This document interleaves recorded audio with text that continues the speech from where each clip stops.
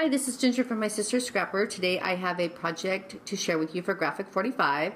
This um, was a Pinterest inspired project. I saw a cute little backpack gift box on Pinterest, so I wanted to create one. I'm using the Mother Goose 12 by 12 papers and the chipboard pieces as well as um, the stickers.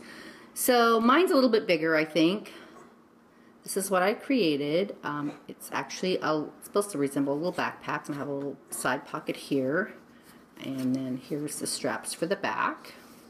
So on the front flap of the backpack, I went ahead and used one of the chipboard pieces and a couple of the brads from the Staples collection.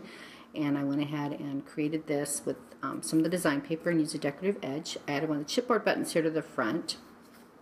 And the side I created a little pocket here and another chipboard piece. This is some Maya Road twine that I had in my stash. And I made three little tags with some of the little um, stickers here on them. And this top edge here was created with the Stampin' Up! Tab Topper Punch. A little cute little sticker. So those go back in this little side pocket here. And I do have um, a magnet in here, so it will close. And then on the back, for the straps, I went ahead and, and glued them down, but I also used a couple more of the Staples brads from Graphic 45 to hold that down as well. Inked all the edges with frayed burlap.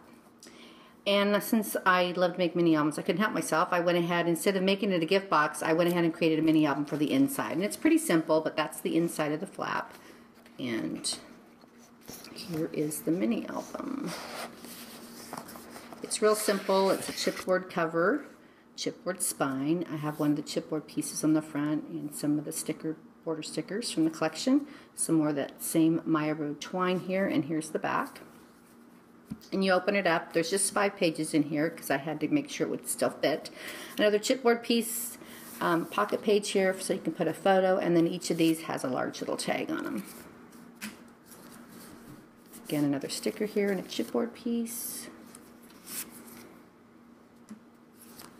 And again, a chipboard piece here, and I put some black solid cardstock to behind it, make it stand out a little bit more. A little photo mat here. Another tag. And again, I left this open here so the photo can go behind. And again, same with the chipboard piece here on the photo mat. Mary had a little lamb, super cute. And again, a photo mat here and another sticker here. And again, these are all left open.